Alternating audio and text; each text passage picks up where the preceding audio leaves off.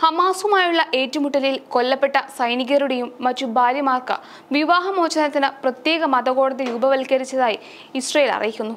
Israel chief rabbi David ലോയാണ് തിങ്കളാഴ്ച ഇത് സംബന്ധിച്ച പ്രഖ്യാപനം നടത്തിയത്.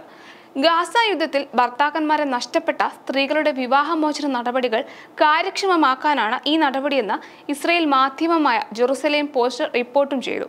ജൂതമത നിയമപ്രകാരം സ്ത്രീകൾക്ക് വിവാഹമോചനം നേടാൻ കർശനമായ വ്യവസ്ഥകളുണ്ട്. ഭർത്താവ് വിവാഹമോചനം അംഗീകരിച്ച ഗെറ്റ് എന്നറിയപ്പെടുന്ന രേഖ മതകോടതി മുമ്പാകെ ഹാജരാക്കണം. ഈ രേഖയില്ലാതെ സ്ത്രീകൾക്ക് പുനർവിവാഹം ചെയ്യാൻ സാധിക്കില്ല. അങ്ങനെ ആരെങ്കിലും വിവാഹം ചെയ്ത് കുട്ടി ജനിച്ചാൽ അത്തരം കുട്ടികൾക്ക് ഔദ്യോഗികമായി പിതൃത്വം അനുവദിച്ചും കൊടുക്കില്ല. അതേസമയം പുരുഷന്മാർക്ക് ഈ നിയന്ത്രണം ബാധകവുമല്ല. ഇസ്രയേൽ ഹമാസ് യുദ്ധത്തിൽ നിരവധി സൈനികർ കൊല്ലപ്പെട്ട സാഹചര്യത്തിൽ മതപരമായ ഈ തടസ്സം നീക്കാനാണ് പ്രത്യേക റബിനിക്കൽ കോടതി സ്ഥാപിക്കുന്നത്. ഭർത്താവ് മരിച്ചുവെന്നും ജീവിച്ചിരിപ്പുണ്ടെന്നതിന് തെളിവില്ല എന്നും ബോധ്യപ്പെട്ടാൽ മതകോടതി വിവാഹമോചനം അനുവദിക്കും. റബ്ബിലോ റബ്ബി എലീസർ ഇഗ്ര റബ്ബി സ്വീപ് ബെൻ യാക്കോ എന്നീ മൂന്ന് ജഡ്ജിമാരാണ് കോടതിയിലുണ്ടാവുക.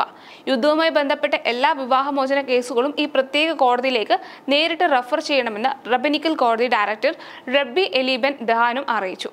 അതേസമയം ഗാസയിൽ ഇസ്രയേൽ ആക്രമണം തുടരുകയാണ്. അല്ലഹ്ലി നാസർ ആശുപത്രികൾ ഉൾപ്പെടെ ലക്ഷ്യമിട്ടാണ് ഇസ്രയേലിന്റെ ആക്രമണം. ഹമാസുമായുള്ള ഏറ്റുമുട്ടലിൽ രണ്ട് സൈനികർ കൂടി കൊല്ലപ്പെട്ടതായി ഇസ്രയേൽ സ്ഥിരീകരിച്ചിരുന്നു. വടക്കൻ ഗാസയിലെ ജബാലിയയിൽ ഇസ്രയേൽ നടത്തിയ വ്യോമാക്രമണത്തിൽ നൂറ്റി പേരാണ് കൊല്ലപ്പെട്ടത്. അല്ലഹ്ലി ആശുപത്രിയിൽ ഇസ്രയേൽ റെയ്ഡ് തുടരുകയാണ്. ആയിരത്തിലധികം രോഗികളുള്ള നാസർ ആശുപത്രിയിൽ ഇസ്രയേൽ നടത്തിയ ആക്രമണത്തെ ലോകാരോഗ്യ സംഘടന അപലപിക്കുകയും ചെയ്തു. തെക്കൻ ഗാസയിലെ റാഫയിൽ താമസ സമുച്ചയങ്ങൾ ലക്ഷ്യമിട്ടും ഇസ്രയേൽ ആക്രമണമുണ്ടായി. വെസ്റ്റ് ബാങ്കിലെ നെബൂസിൽ കെട്ടിടങ്ങൾ തകർത്ത ഇസ്രയേൽ സേന നിരവധി പലസ്തീനികളെ അറസ്റ്റും ചെയ്തു. വടക്കൻ ഗാസയിലും തെക്കൻ ഗാസയിലുമായി ഹമാസുമായുള്ള ഏറ്റുമുട്ടലിൽ ഒരു ഓഫീസർ ഉൾപ്പെടെ രണ്ട് ഇസ്രയേൽ സൈനികർ കൂടി കൊല്ലപ്പെട്ടു. ഇസ്രയേൽ നഗരമായ കിരിയത് ഷിംനോയിൽ ഹിസ്ബുല്ല മിസൈൽ ആക്രമണവും നടത്തി.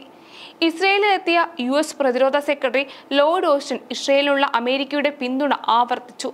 ഹൂത്തി ആക്രമണം ശക്തമായ ചെങ്കടലിൽ സുരക്ഷിത ചരക്കുകടത്തിന് സംയുക്ത സേനയും ലോയിഡ് പ്രഖ്യാപിച്ചു. അമേരിക്കയ്ക്ക് പുറമെ ബ്രിട്ടൻ ഫ്രാൻസ് ഇറ്റലി സ്പെയിൻ തുടങ്ങിയ രാജ്യങ്ങളും ഗൾഫ് മേഖലയിൽ നിന്ന് ബഹ്റൈനും സേനയുടെ ഭാഗമായി മാറും. അതേസമയം ഇസ്രയേൽ ബന്ധമുള്ള രണ്ട് കപ്പലുകൾ കൂടി ആക്രമിച്ചതായി യമൻ അറിയിച്ചു.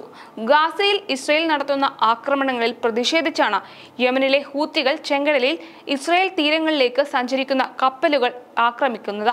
ഗാസ അധിനിവേശം അവസാനിപ്പിക്കുന്നതുവരെ ആക്രമണം തുടരുമെന്നാണ് ഹൂത്തികളുടെ പ്രഖ്യാപനം. കപ്പലുകൾക്കെതിരെ ആക്രമണങ്ങൾ തുടർക്കഥയായതോടെ M N C A P മോണോമാക്സ് Hapag Lloyd O L C C തുടങ്ങിയ മുൻനിര ഷിപ്പിംഗ് കമ്പനികൾ ഇസ്രയേലിലേക്കുള്ള സർവീസും അവസാനിപ്പിച്ചു.